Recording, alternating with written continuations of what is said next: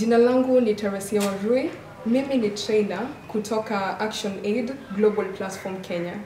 Ujasiriamali jamii ni aina ya social entrepreneurship ambayo tunaangalia matatizo ambayo yanayokumba jamii, vile tunaweza tengeneza faida kwa kuwa solution kwa zile matatizo, na pia tutaiziendelezaje, because vijana wanapokuja pamoja wanaangalia ile shida iko wapi, wako na roho ya kusaidia jamii, lakini watafanyaje? Kuna uwezekano vijana wanaweza kuwa wanaangalia hayo matatizo na pia wanakuja wanatengeneza solution na wanaangalia tukitengeneza hiyo solution, kwa sababu tuna shida ya unemployment, tutaweza kutengeneza aje mapato kupitia ile shida. Hiyo ndio kuhusu social entrepreneurship. Kwa hii wiki tumeangalia na tumeweza kuzungumza na vijana wa Tanzania. Kitu ambacho kimenifurahisha ni ile fast ambayo wako nayo, wako na ile kiu ya ku learn more about social entrepreneurship. Wazo, mawazo ambayo wamekuja nayo, the ideas they have come with are totally excellent. Wamekuja nayo, wameangalia mashida yao, na pia tumeweza kuangalia kwa hiyo process ambayo utapataje hiyo shida, utakujaje na solution na utezaje kuibrand ndio jamii iweze kukusupport, kwa sababu social entrepreneurship si about competition, ni about wao kuja pamoja kwa umoja na kutengeneza jamii. Know your value, understand your value, understand whatever you are offered you. When you are getting an assignment, ukipatiwa kazi, do it in the shortest time possible and do it and do it so well that people don't want anyone to do it again for them apart from you. Si ni? Very important knowledge and skills about your product. Make sure you're the best in whatever you do. If you're selling rabbits, if you're bringing, let, let people think about rabbits and think about you. The next uh, business model is what we call the low income client model. The, the low income client model become a fee to service. Kwa sasa nakumbuka fee to service niliwaambia wanalipa lakini it's not extremely high and then they get very quality services. Ideally when you look at hizo hizo hizo services zenye wana wanapata ama wana access, ukicompare na ile pesa wanalipa haiko they are not matching eh? Wangeenda mahali pengine wangechajua wangechajiwa haya sasa, ndio? So they still able to access quality but at a slightly lower um, lower fee, yeah. Uh, and then it does not specifically target. It is for anyone, whether wewe ni tajiri, wewe ni maskini, anyone can be able to access it. Ata struggle kama ni maskini ata struggle kidogo. Eh, kama ni a very rich family bado they can still be able to access those services and feel comfortable because the services after all they are quality. Kitu cha kwanza kilichokuja kichwani mwangu ni kwamba ni kwa namna gani mwanamke kama goalkeeper bado anaweza akawa proud goalkeeper, ni kwa namna gani anaweza akajivunia kuwa mama nyumbani. Kwa vile kuna mifugo kadha wa kadha ambayo ni midogo ambayo hivyo inapatikana katika mazingira tunayoishi, nikaona labda tunaweza tukatumia vitu ambavyo viko pale katika mazingira yake, na mbali na kwamba ni katika mazingira yake, tusimtoe pia mbali na familia yake, maana bado anaipenda familia yake, bado anapenda watunze watoto wake. Ni kitu gani tufanye ili mwanamke yule aweze kuitunza familia, lakini pia awe anapata pesa? Ndio tukaja na hii idea ya kufuga sungura. Kwa hivyo tukaona kwamba idea ya kufuga sungura ambaye ni mnyama ambaye anaweza akakupatia kipato cha pesa, lakini hapo hapo utakuwa unapata muda mwingine wa kuendelea kuitunza familia yako na unaendelea na majukumu mengine. Ndio tukaanzisha idea ya sungura, ambapo lengo letu kubwa ni kuwafanya wamama wa nyumbani wawe proud goalkeepers na isiwe kama ni sehemu ya disappointment kwao kwamba mimi goalkeeper siwezi kufanya kitu chochote. Na hii idea tunataka kuimplement vipi? Kikubwa ambacho tutafanya ni kuwaempower hawa magolikipa hawa goalkeeper kwa kuwakusanya maana yake tutawapa mafunzo yani jinsi gani ambavyo wanaweza wakamfuga sungura yule, lakini hapo hapo wakati wanamfuga yule sungura wanaendelea na kazi zao zingine, na pia hawahitaji kuwa na pesa nyingi ama hawahitaji kuwa na maeneo makubwa, kwa sababu wengi wetu tunawafahamu goalkeeper hana ardhi, hana chochote kile ambacho ni cha kwake, labda unaweza ukasema akilete ili aanzishe biashara. Kwa kutumia vile vile alivyonavyo, tuweze kumsaidia awe anaingiza kipato, kwa sababu yanayomuumiza yote ni katika kuipenda tu familia yake. Kwa hiyo tutawafundisha tutawafundisha namna tutawafundisha wamama hao namna ya kutumia kidogo walichonacho ili wajiongezee kipato, lakini mbali na hivyo tutawafundisha pia namna ya kutumia tunaweza tukasema miti ya asili ambayo inawazunguka ili kulisha ile mifugo na baadaye iweze kuwaingizia kipato. Kwa hivyo kama social enterprise model ambayo tutaitumia sisi itakuwa ni employment business model, ambapo katika kuwafundisha vile kwa mwanzoni tutawapatia sungura ambao wataanzia wata, wataanzia kama starting capital, alafu sungura wale watakapokuwa wanakuwa, sisi tutakuwa tuna offer market kwao. Lakini katika kipindi chote hiki mtu anaweza akawa anajiuliza kwamba sasa kipindi chote hiki mpaka wale sungura wanakomaa, huyu mama atakuwa anaendelea vipi au atakuwa anaishi vipi? Sisi tukaonelea kwamba kwa vile sungura ni mnyama ambaye hakuna chochote kinachopotea kwake, mkojo unatumika kama fertilizer, manure inatumika kama mbolea. Kwa hiyo tuta, tuta engage na vijana wenzetu ambao wao wana nguvu na pia wana uwezo wa kuingia masokoni wakaendelea kutafuta masoko ya vitu bidhaa ambazo zinahitajika. Kwa hiyo tutakuwa tunachukua ile mkojo kutoka kwa wale wamama na zile manure tunaingiza sokoni, tunauza, ambapo pesa ile itamsaidia yule kijana kujiajiri, lakini pia itamsaidia na huyu mama kujisustain katika kipindi hicho mpaka mradi wa sungura tunakwenda kuchukua na kwenda kuadi value ya ile nyama inaingizwa sokoni. Katika jamii yetu tunakumbwa na tatizo kubwa sana, na hili linamgusa kila mtu, na wakati naliangalia hili, nina mifano ambayo naiona, lakini pia ndani ya familia yetu ilitokea Wakina mama wajawazito wanapoenda kujifungua utakuta madaktari wanasema kwamba damu ndogo, aongezewe damu. Kwa upande wangu, katika idea yangu niliona kwamba kwa nini mimi kama shauri, mimi kama yombayomba, nikaenda kuanzisha kilimo cha rozea.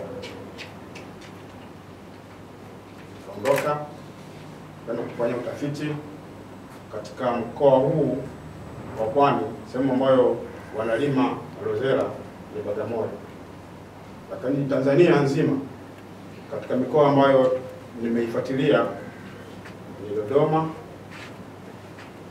Morogoro, Pwani yenyewe na sikumbuki, na nadhani kama mikoa kama minne, Nakuja kuongelea ni kwamba mikoa ni michache sana ambao wanalima kilimo hiki, na sijui kwa sababu labda wanadharau, lakini kumbe zao hili lina impact kubwa sana. Kwangu mimi imekuwa ni fursa, nikasema lazima nita nitaenda kulima hivi. Kwa nini? Na namna gani naenda kufanya hichi kilimo?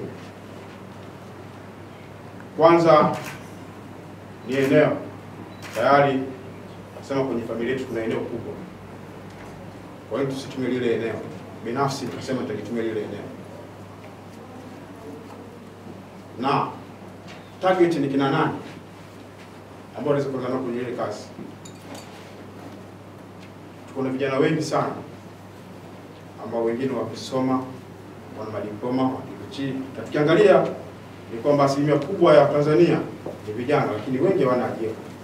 Nikasema tutawatumia hao vijana kwa ajili ya kwenda kusaidiana nao katika swala zima la kilimo. Hiyo ndio target ambayo tumedili nayo. Naitwa George Bundi, natokea Kibaha, ni mshiriki wa hii training iliyoandaliwa na YPC kupitia Global. E, kimsingi hii training imenisaidia vitu viwili vikubwa mno katika vingi nilivyovipata katika training hii. Kitu cha kwanza nimefahamu kujua social entrepreneurship ni nini. Social entrepreneurship ni kitu ambacho kumbe unaweza ukawa mfanyabiashara lakini ukawa mfanyabiashara wa kijamii wa kuweza kutatua matatizo mbalimbali yaliyopo katika jamii huku ukiwa unaingiza kipato. Kwa hilo ni la kwanza ambalo nimelifahamu na ni kubwa sana ambalo nafikiri tunaweza tukalitumia kama vijana tukalitumia kama wanajamii huko tulikotoka, ili kuweza kufahamu kumbe ndani ya matatizo tulikuwa nayo katika jamii, tunaweza tukayatumia hayo kama fursa kuweza kutatua na matatizo mengine yaliyokuwepo huko chini. Lakini kubwa zaidi niliondoka nalo ni kwamba wakati mwingine unaweza ukajibrand yourself, ukajibrand wewe kama wewe kwamba wewe si mfanyabiashara bali wewe ni biashara. Hicho ni kitu ambacho kikubwa nimejifunza katika training hii, na niwapongeze sana YPC ili shirika la vijana kule Kibaha kimsingi limetuletea mafunzo ambayo ni mazuri sana kwa vijana. Moja ya tatizo ambalo linaweza likatatuliwa kupitia hii social entrepreneurship ni kwamba wakati mwingine kunaweza mtaani kukawa na tatizo la takataka. Sasa nyinyi kama vijana kwa grupu mkaanzisha kitu kama hicho kuzoa hizo takataka, lakini wakati huo mnazoa hizo takataka huku mnapata hela kupitia zile familia au zile kaya, ambapo tayari mmesaidia jamii katika masuala ya mazingira, lakini vile vile mnapata kipato kupitia hiyo shughuli. Kuna vitu vingi sana katika jamii. Jamii ina matatizo mengi sana. Kikubwa ni kuwa wabunifu huko tulipo katika maeneo yetu. Lakini mfano mwingine mkubwa naweza nikasema tuna vijana wakati mwingine wapo tu mtaani wanashindwa kujiorganize pamoja wakafanya kitu. Kuna masuala ya kilimo, masuala haya ya mazingira niliyoyasema, kuna masuala ya internet, mkakaa mkajiorganize kwamba hapa kumbe tunaweza tukaanzisha kikundi, watu wakawa wanakuja kupata huduma hizi, lakini huku ukapata kipato. Lakini nataka nitoe wito kwa vijana wenzangu, kazi ni kazi yoyote ile ambayo unaweza kufanya, na nitoe wito vile vile kwa vijana wenzangu kwamba tusisubiri serikali ndio itoe ajira. Tumeona sasa hivi hiyo changamoto ndani ya jamii zetu, kuna fursa ziko nyingi sana ambazo hizo tukizitumia, tukawa wabunifu, tukawa watu ambao wa kitu na kufanya ubunifu ule ambao unaotakiwa, tunaweza tukajikomboa sisi kama vijana. Unaweza ukaanzisha pale mgawa wako kama dada, ukawa mama ntilie, lakini kutokana na sasa hivi hii serikali ya viwanda, kuna sehemu watu wanajenga viwanda, nenda pale kaanzishe kamgahawa, kaanzishe soko, kaanzishe kitu kile kidogo ambacho unaweza ukakifanya wewe kama kijana, ili kujipatia kipato chako. Ndio utarudi kule kwenye dhana hapa ya social entrepreneurship, kwamba unafanya kitu kuisaidia jamii, lakini huku unapata kipato. Kimsingi tunahitaji kuiweka nchi yetu katika mazingira safi, tunahitaji kuweka eneo letu la kwa jumla kwa jamii ili kuwa safi. Natoa wito kwa vijana wenzangu, ile dhana ya kusema kwamba huwezi kufanya kazi hii tuiondoe kabisa.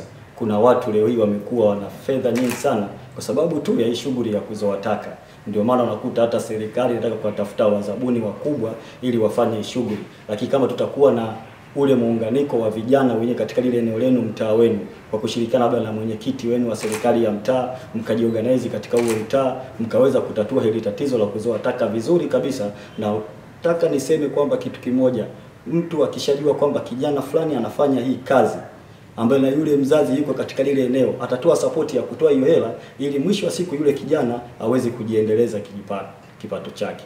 Jina naitwa Irene Kalumuna, natokea shirika la vijana la TYVA, Association ya Vijana Tanzania.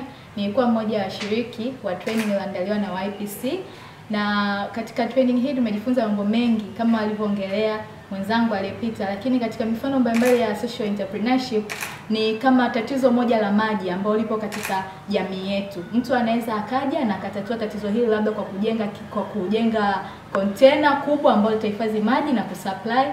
Wakati huo anatatua tatizo hilo la maji akiwa anajipatia kipato.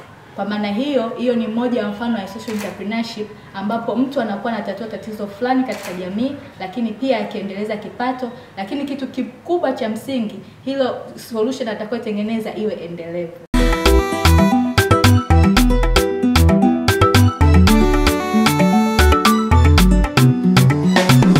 jinsi navyokupenda kukuacha toweza, uniponyoke kononi, anafasi toichezea, jicho lako ikisura, kiuno cha nyigu dondola, ah, Eliza eh, anafasi toichezea, sitokuacha kisura eh, mama eh, Eliza eh, moyo wangu nauma eh, sipokona. Sina raha kabisa, sitokuacha kisura eh, mama eh, Eliza eh, moyo wangu nauma eh, sipokona. Sina raha kabisa eh, sipokona Eliza na pagawa eh, sipokona Eliza na vavanya eh, sipokona Eliza na pagawa eh, sipokona Eliza na vavanya vavanya eh. Mabebe mabebe. Elizo menibamba eh. mpaka natamani kwenda obebi Oh baby kwa mganga. Ukweli mabebe mabebe. Elizo menibamba eh. mpaka natamani kwenda eh. Oh baby kwa mganga kama tunguli nikapige kwa mganga kwako sina ujanja baby miume ni bamba eh. sifurukuti kwako kama tunguli nikapige kwa mganga kwako sina ujanja baby miume ni bamba eh. sifurukuti kwako sipokona eliza na pagawa eh. sipokona eliza na vavanya eh.